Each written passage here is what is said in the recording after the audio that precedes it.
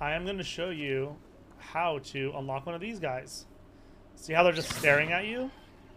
What you want to do is wait to be out of sight. And then what you want to do is use the delusion spell, which you will learn. You go invisible, and now they can't see you. And what do you know? Bada bing, bada boom. 500 coins.